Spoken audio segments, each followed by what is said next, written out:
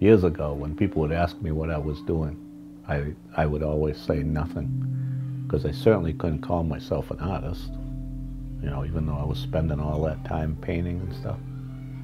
And so to call myself an artist would have been pretty bizarre. Even now, it sounds silly. I paint funny pictures. That's it.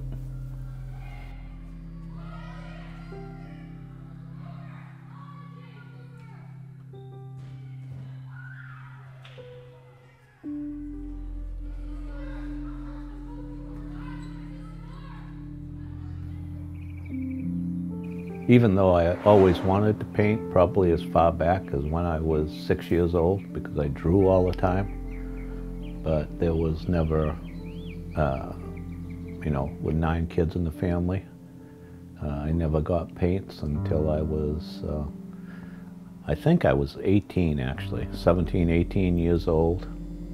And it was a little, just a box of like eight, eight colors with little instructions in there on how to paint.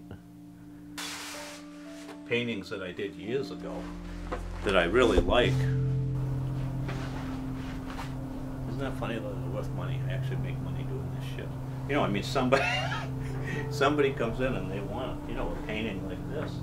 You know, it's probably, that, uh, you know, and the one underneath would be even more money. A painting like that's probably sixteen, seventeen hundred dollars very first thing that I painted, I was so embarrassed to turn it into the art teacher. It was, you could either do an oral report, which I sure as hell wasn't going to do, or do a painting. And uh, I remember bringing it into my teacher uh, when I knew she wasn't there because I was so embarrassed because I didn't know, and it was an abstract painting. And uh, I wrapped it up and I left it on her desk and all that stuff uh, thinking that, you know, she might think it's more funny than a worthwhile project. And years later, I learned uh, from a friend of mine, she actually took that painting, had it in her class, and made everybody in all those classes do a report on it.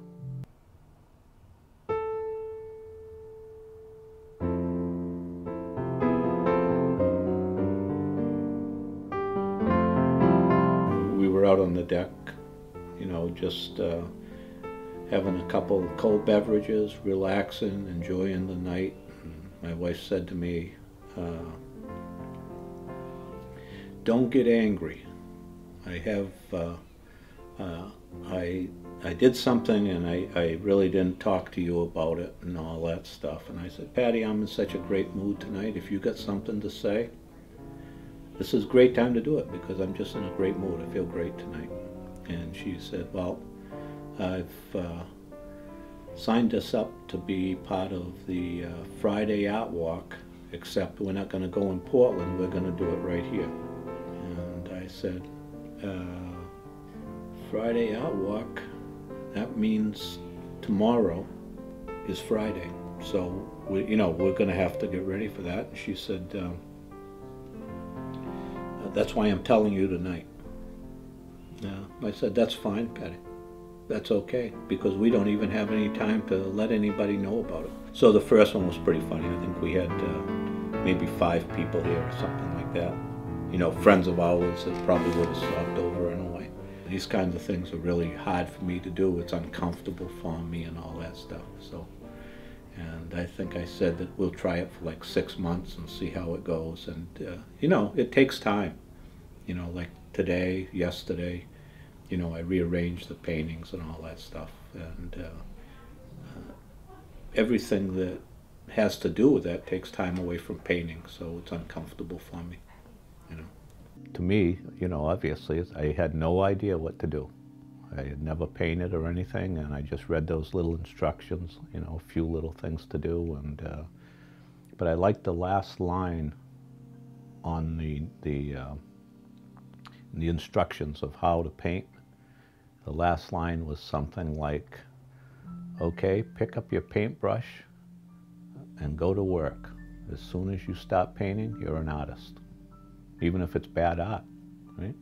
Playing sports in school, which came very easy to me because it was the same feeling as painting, that uh, I have a big sign up in my studio that one of the high school kids made for me, and it's from a quote that says, The moment we lose ourselves, we find ourselves. And when I'm painting, I lose myself. And uh, most of the time, I'm not even concerned uh, what I'm doing, you know, to begin the painting. It's just throwing stuff on there and uh, sitting back and, and then seeing what you see, you know.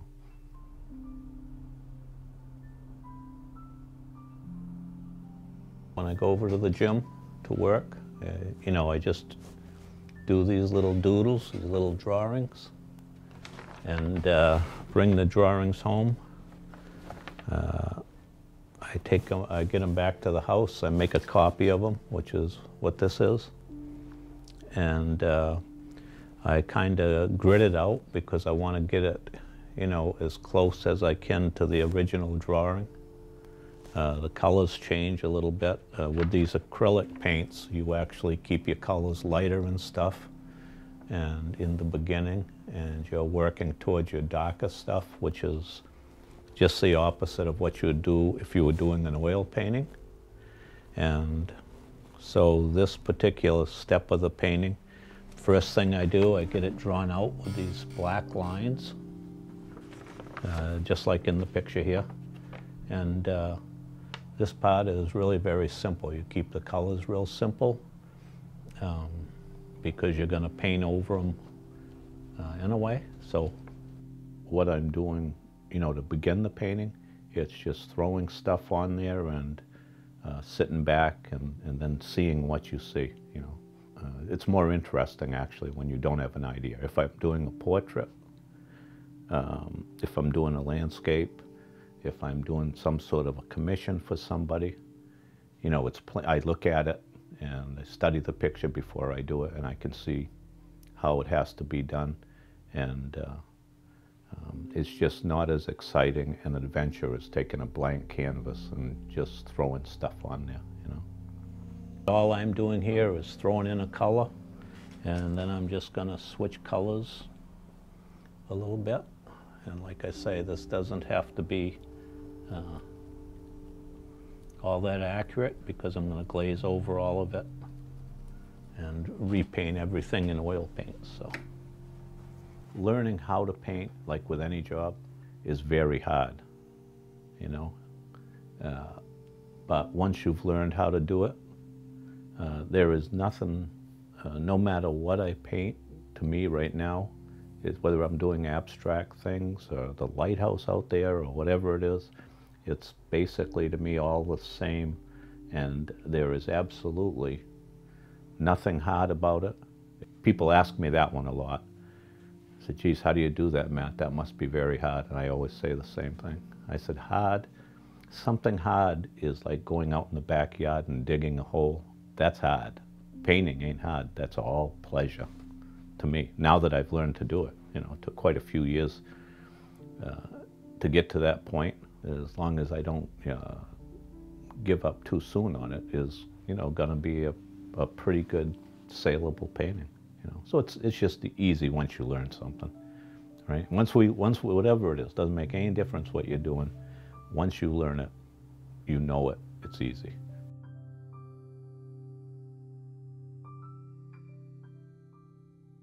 Uh, when I decided to paint, uh, my thinking was, I I'm going to just do this. Whether I become successful or not, that wasn't important to me. All I knew that when my head was in painting, I had a peace of mind that I didn't have anywhere else. I was focused on one thing. And uh, so the money is, uh, you know, it's obviously great when you make some money. You know, makes life easier for everybody. Uh, when my wife says, you got to make some money, you got to sell a couple paintings, and I take care of business and I do that the money idea, uh, all that seems to do for me is distract me. You know, you get a bunch of money in your pocket, and what do you do? You waste all your time.